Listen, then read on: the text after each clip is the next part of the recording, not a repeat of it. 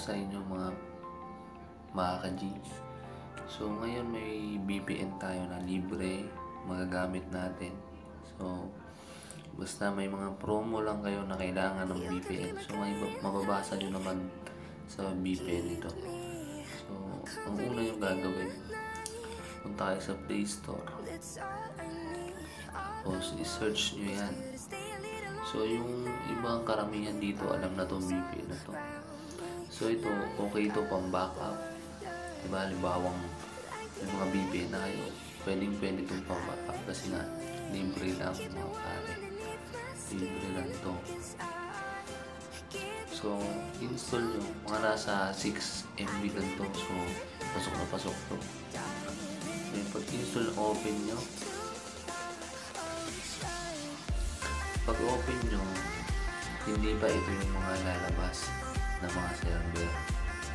So, ayan. Hindi pa yan. Ang una yung gagawin, i-click nyo to. Ito.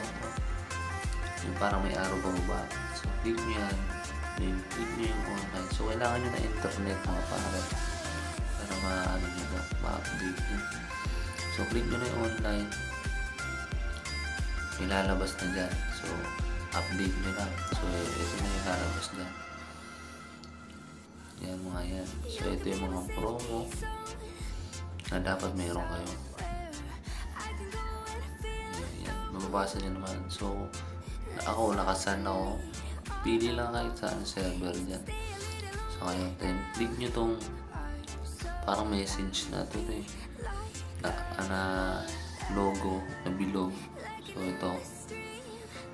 Yan, click yan. So, may mababasa ka dito. Connected. Success. So, ito siya. Connected na tayo. Try natin siya kaya.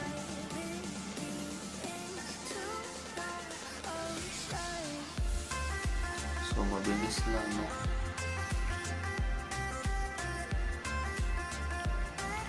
Tagal ko na rin di nakakapag-upload. Almost one month na. Eh, sana mag like and subscribe kayo and comment sa mga shoutout natin.